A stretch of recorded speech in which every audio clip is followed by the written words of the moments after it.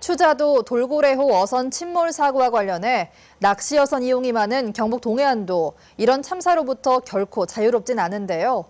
해경이 낚시 어선에 대해 특별 점검에 나선 가운데 신고와 지도기관이 이원화돼 문제점으로 지적되고 있습니다. 박상원 기자가 보도합니다. 해경이 출항하는 어선에 다가갑니다. 선생님 오늘 네 분 나가시는 거 맞으시죠? 네, 맞습니다. 예, 그러면 그 승선원 변동은 없으시고요.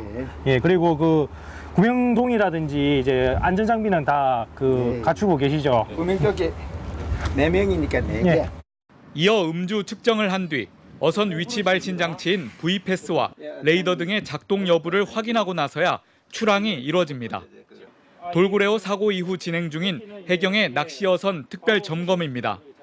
낚시 여선이 출항할 때는 승선원 일치 여부와 정원 초과 및 음주 여부 등을 확인하고 있고요. 특히 선내에 비치된 구명조끼, 구명보안, 소화기 등 안전 설비를 중점적으로 점검하고 있습니다.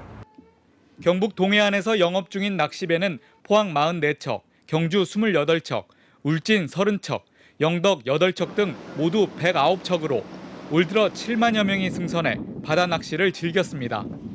하지만 올 들어 단속 건수는 정원초가 2건과 구명동이 미착용 1건에 불과합니다.